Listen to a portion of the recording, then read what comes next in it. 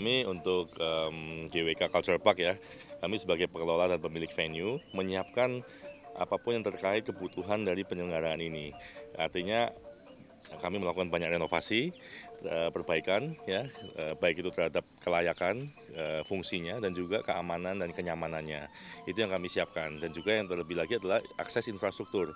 Karena G20 ini um, memiliki dua jalur ya, jalur kepala negara dan juga jalur uh, delegasi. Nah, dua jalur ini mem, mem, apa, membuat kami harus membuat jalan yang uh, disiapkan agar tidak ada bentrokan ya, agar semuanya berjalan dengan lancar seperti itu.